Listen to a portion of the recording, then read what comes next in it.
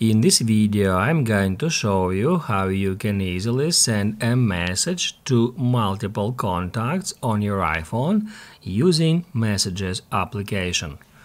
Be sure to watch the video to the very end so you don't make any mistakes. Let's get started and uh, first off open up Messages app. You will be taken to uh, that screen where to create a new conversation with a user or multiple users, you need to tap right here at that button.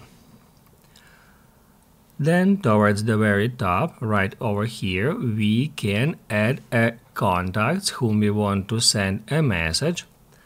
To do that, just tap at that plus, then select a contact from your contacts book.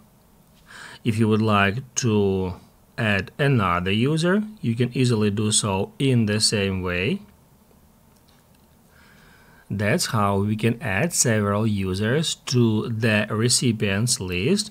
And uh, after that we can add our message and then to send it just tap at that button and it will send that message to that users it will create kind of group chat where you can have a conversation with that users.